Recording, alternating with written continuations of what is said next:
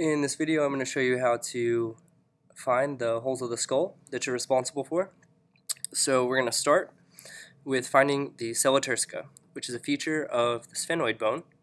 It's located medially and fairly anteriorly. So I've made this little person that is sitting in the sella turcica, or the Turkish saddle. So imagine they're riding the skull. So they have their arms through the optic canals. Pull one arm out so you can see the optic canal runs through here. The other arm is located in what is the left optic canal right here. Again, their pelvis is sitting in the sella turcica, and the legs are hanging directly downwards laterally. This is the foramen lacerum, and you're not held responsible for it, but it is a nice landmark for helping you find the other holes that you are responsible for. So, you do need to know the carotid foramen, which is shown here in pink.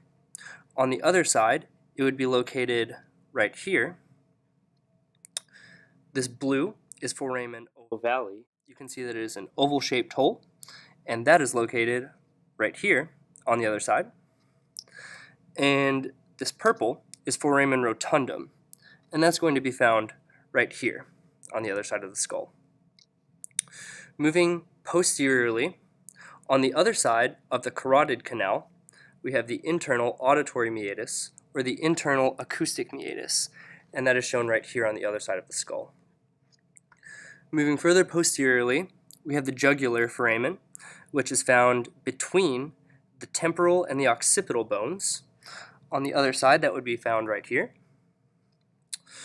And then moving further posteriorly and more medially, we have the foramen magnum, which is the largest hole in the skull.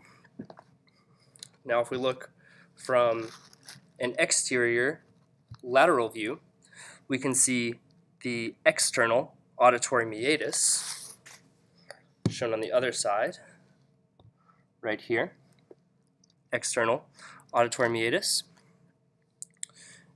and I've connected the purple so that you can see the external going inwards to the internal. Let's get a good view there. So then on the other side, that is our internal. And again, keep in mind that the internal auditory meatus is on the other side of this ridge found in the temporal bone from the carotid. From an anterior view, you have three holes in the orbit that you should be familiar with. One, we've already discussed, the optic canal. It comes through the back corner of the orbit. On the other side, this is where the optic canal can be seen. You also have two fissures. You have one superior and one inferior. So the blue shows the superior orbital fissure up here. On the other side of the skull, it can be seen right here. And then the purple shows the inferior orbital fissure.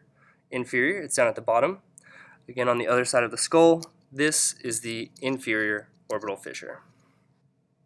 This pink marker indicates the olfactory foramina, which are these small holes seen within the cribriform plate of ethmoid. They're going to allow the olfactory nerve to pass through down into the nasal cavity. You can see the little bit of pink coming through the cribriform plate, through the olfactory foramina, and into the nasal cavity. From an inferior view, we can see the foramen magnum located in the occipital bone. This is the largest hole in the skull. It's located posteriorly as well as medially. Moving further anterior in the skull, we see the jugular foramen, shown here in blue. You can see that right here on the other side of the skull. The carotid canal, or the carotid foramen, is shown here in pink, and that can be seen right here on the other side of the skull. The yellow is the foramen lacerum. You're not held responsible for it, but keep in mind it's directly lateral to the sella turcica, so it's a good landmark for you. This anterior blue marker is the foramen ovale, and that can be seen right here on the other side of the skull. The purple is the external auditory meatus, and that can be seen right here on the other side. And notice that some of these teeth are missing in the maxilla. So these holes, each hole is one alveolus, plural, we call them alveoli. And they're found in the maxilla. They're also found in the mandible.